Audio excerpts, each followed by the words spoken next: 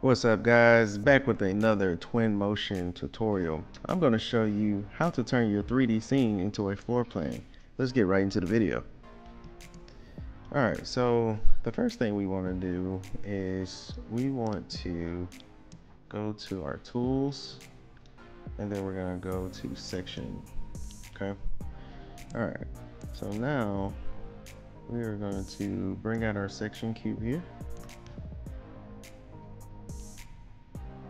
I'm gonna click on that section cube and we're just gonna move it above our 3D scene.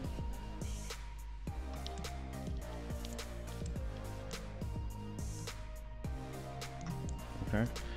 All right, and there's several different ways you can do this. Um, this is probably my favorite way. But you go to your scale tool and we're just gonna stretch out the width of our section box. Okay. And then we're gonna stretch out just a little more on the sides. All right, so now we're gonna go back to our move tool and you just simply move it down. Okay. All right.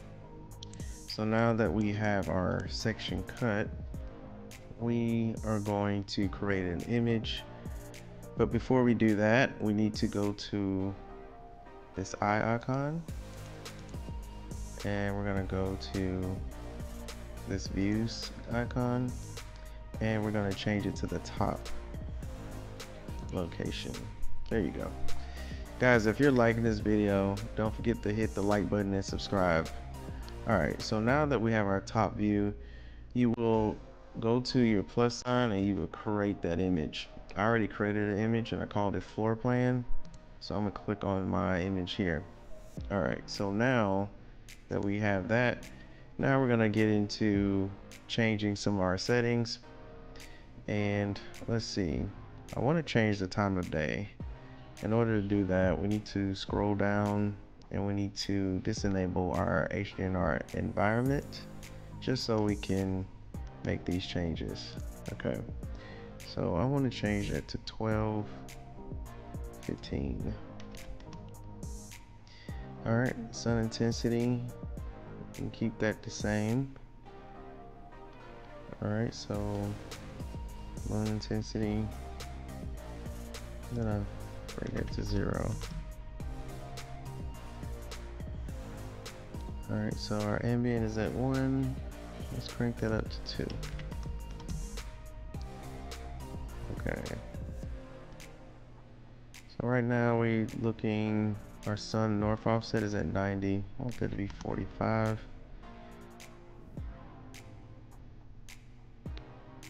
Okay. So right now we're in the month of July. I want to move to September.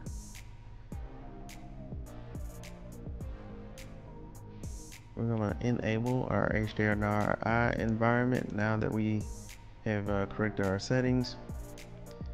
All right, so our intensity is at four. Let's first, okay, so first we're gonna go to our HDRI preview. We're gonna change that. We're gonna go to library and we're gonna use the studio. So we're gonna use Studio 24. So we're gonna get there and just drag it out. Okay. All right, so now that we changed that, now let's change our intensity from 4.0 to 15. And we're gonna rotate it 90 degrees.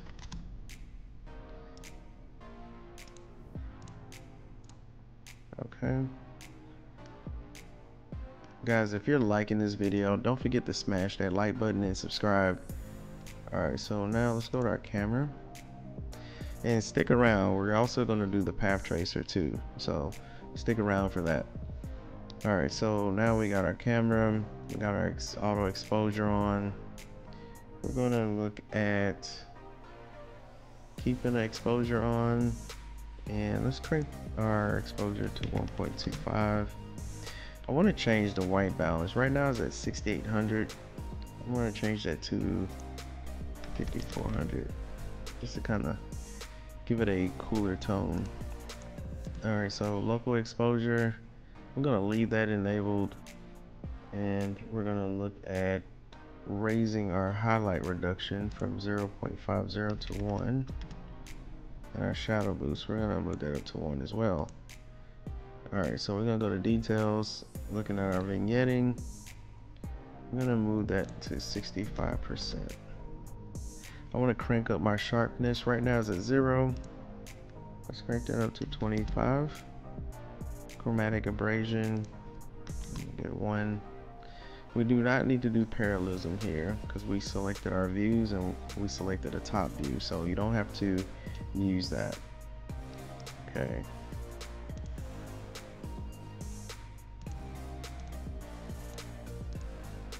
Okay.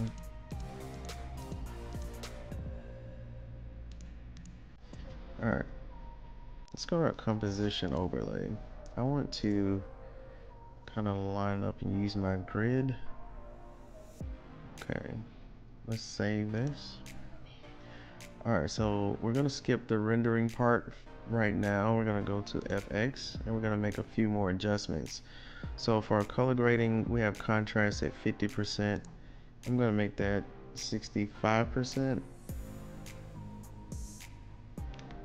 Alright, so now let's look at our saturation. That's 50%, well, 45. We're gonna add a color gradient to this. We're gonna do we're gonna do hmm, let's do Fuji. Let's see if I can find it.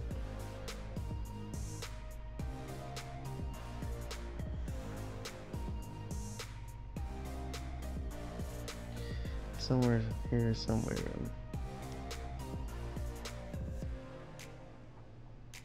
Here we are. Alright, so Fuji. Alright, and now filter. We're actually going to put a filter on this one, and we're going to do line light. Kind of brings out some of the sharpness around the corners in the image itself. Alright, so we're going to go to image. We're going to crank that up to a 4K. Make sure tile rendering is checked. Alright, so now, thank you for sticking around. We're going to do path tracing. So We'll click on render. We're gonna click on the path tracer. So right now it's at low and we're gonna change our samples per pixel. We're gonna make this 2040 and we're gonna do our max bounce at let's see 35 and then we'll leave emissive materials check and denoiser checked and we'll keep our fireflies at one Okay.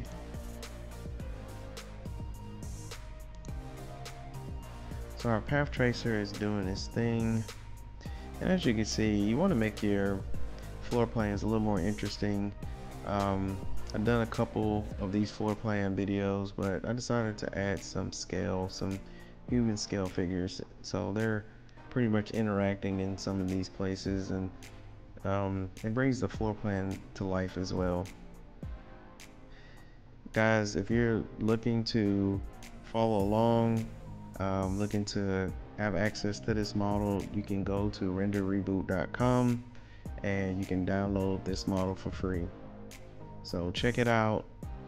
And um, guys we'll be back with another one